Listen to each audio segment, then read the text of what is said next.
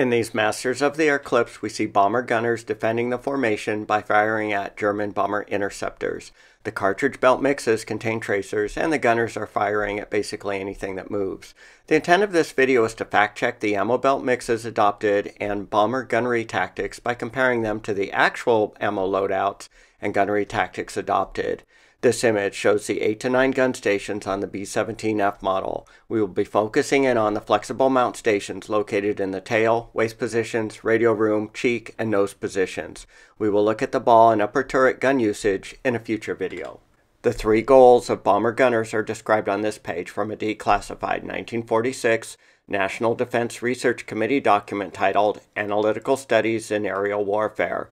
Don't get shot down. Protect the other bombers in your formation by mutual crossfire support and destroying the enemy bomber interceptors. The ammo belt mixes and gunnery tactics were changed throughout the war, taking into account changing interceptor threats and vulnerabilities and lessons learned. There were four main types of 50 caliber cartridges adopted by bomber gunners, as shown on this table from a declassified 1944 Aircrew Gunnery Manual. The table columns represent the cartridge name, target type, bullet tip color, and bullet characteristics. The main advantage of tracers is that they emit a bright visible light. This can help in aiming.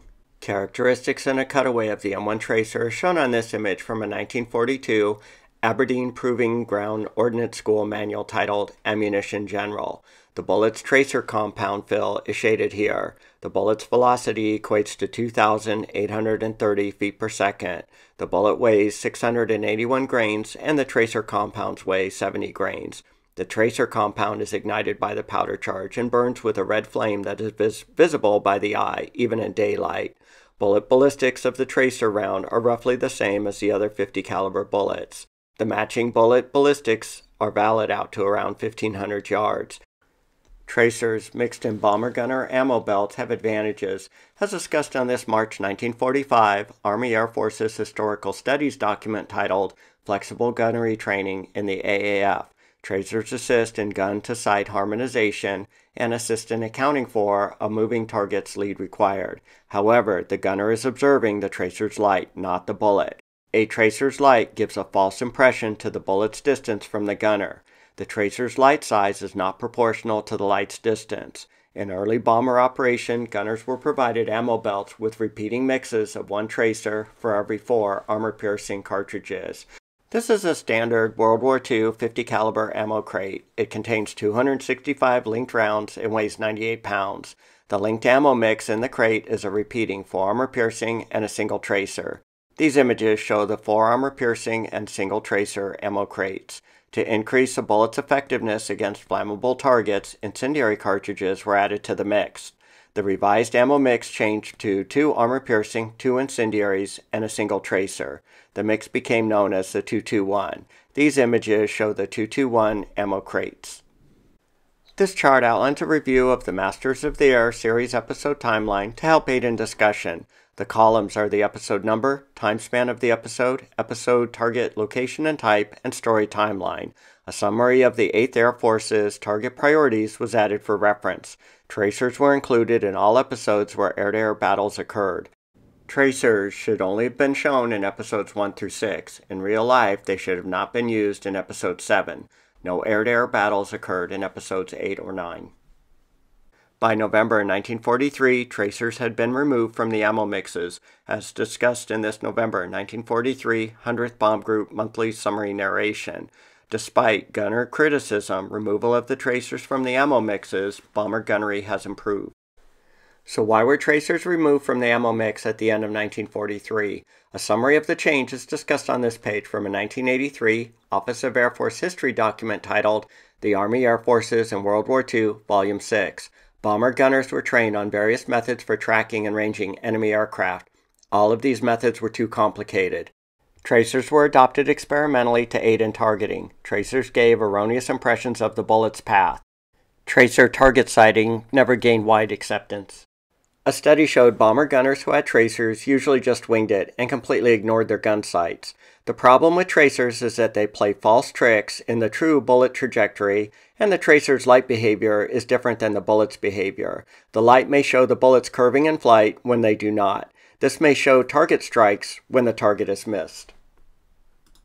This page from a November 1943 Positions Firing Training Manual titled Get That Fighter indicates don't depend on tracers, they may fool you. The British also evaluated the benefits of tracers as discussed in this historical review number 6, RCAF Heavy Bomber Group European Theater Appendix. In February 1945, the RAF stopped using tracers. The value of tracers was always in doubt. Usage of the gyro gun sight was a deciding factor. This report goes further, indicating that tracer ballistics were poor and were useless in assisting in aiming. The new position firing method was adopted by bomber gunners in October of 1943. The methods it replaced were considered too complex to be practical. Up to October 43, bomber gunners were using the complex either apparent speed or relative speed targeting systems for tracking, ranging, and firing. After October 43, bomber gunners switched to the position firing method. This is around the same time tracers were eliminated. Application of the older targeting system was inadequate, even when properly applied. Gunners were aiming in the opposite lead direction needed to strike the enemy aircraft. The five step old relative speed system is outlined here. This is a gunnery sighting system that should have been adopted in the Masters of the Air episodes 1 through 6. Identify enemy aircraft, estimate effective range at 600 yards. Let the plane pass across your stationary gun sight for one second to determine the correct speed differential between your bomber and the interceptor. Lead the target based on a memorized table. In practical application, by the time these steps were followed, the interceptor will be long gone. Think about the gunner following those steps in this clip. The attack sequence has been slowed down to one third its normal speed. Adoption of the position firing system was a turning point in flexible gunnery target sighting when implemented in 1943 and 1944. This page outlines the new position firing system. Position firing is based on three rules. It is more effective than any other system. The rules are valid only for flexible mount ring sight and post sighted guns. The three rules are listed here. Only fire on fighters attacking you flying a pursuit curve path. Always aim between him and your bomber's tail. Account for proper deflection based on his cone position to the bomber. Don't waste ammo, open fire when within range.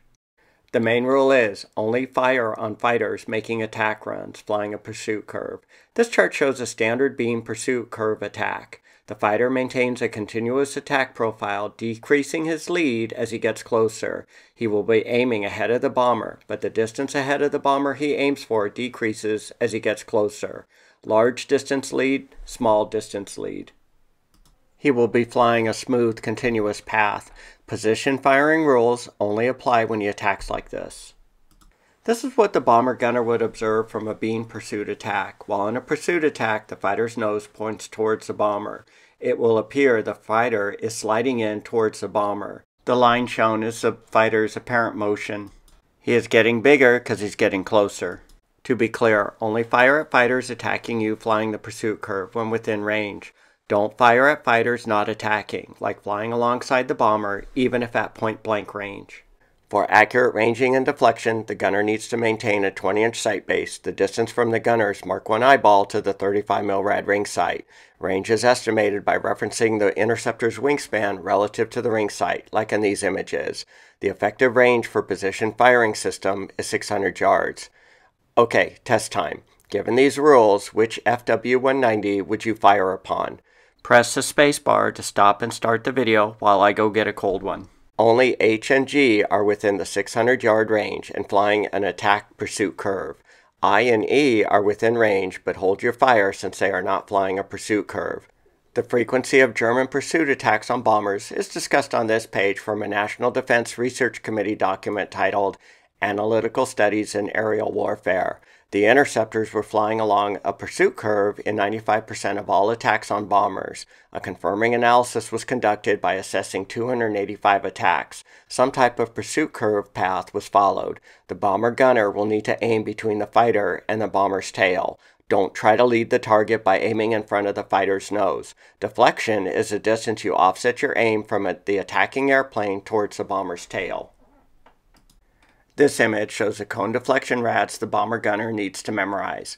This is a rad graphic for a level attack. A rad is the radii of the 35 mil rad ring sight. No rad offsets are needed for the 12 o'clock or 6 o'clock attacks, as these are no deflection shots. If the fighter is at the 9 o'clock level position relative to the waist gunner and in range, then the gunner will need to aim three rads towards the tail of the bomber in space. He will aim at point B. The reason you deflect your aim towards the bomber's tail is the bomber's forward speed will carry the bullet forward, so you aim aft to counteract this effect. The beauty of this system is that the rad offsets needed are independent of the fighter's speed or distance from the gunner.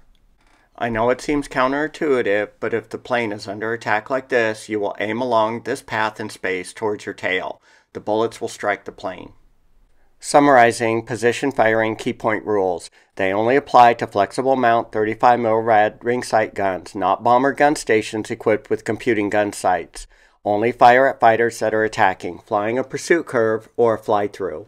Estimate its cone angle and account for rad deflection. In episodes 1 through 6, the waist gunners were firing at anything that moved, likely using tracers as their sighting system given the speed of battle. The mission to Berlin in Episode 7 occurred in March of 1944. This is five months past the changeover to tracer elimination and adoption of the position firing sighting system. The gunners in this mission would all be well trained in position firing, and all gun stations would be using 100% armor piercing incendiary rounds, no tracers. In this Episode 7 clip, the waist gunners are firing at interceptors not flying a pursuit curve and all gun stations are firing tracers. We know tracers were eliminated five months earlier, and in this March 8th post mission crew suggestion list, item 1 indicates some gunners want tracers added to the ammo mix. By March of 1944, bomber ammo belts would have shifted to 100% armor piercing incendiary cartridges in lieu of the 221 mix. This is based on several sources. This page from a headquarters 8th Air Force document titled Major Problems and Accomplishments in 1944 discusses cartridges adopted by bomber gunners in 1944. In early 1944, the armor-piercing incendiary 50 caliber cartridges were introduced. They had both armor-piercing and incendiary qualities. It had improved gunnery by an additional advantage of showing strikes on targets. This row shows characteristics of the armor-piercing incendiary cartridge. This table from a 1945 Armaments and Air War document summarizes the cartridges adopted by U.S., British, and German Air Forces. Allied fighter and bomber ammo loadouts are listed. The end-of-war U.S. bomber, gunner, and fighter ammo loadouts consist of 100% armor-piercing incendiary rounds. Note the British and German Air Forces also abandoned tracers. In summary, the episodes 1 through 6 gunnery narrations reflected period sighting and ammo loadouts. Episode 7 did not reflect either gunnery position firing methods or ammo loadouts used during that period. If you've enjoyed these Masters of the Air deep dive fact check videos and found them worthy of your time, please consider commenting and or liking the video.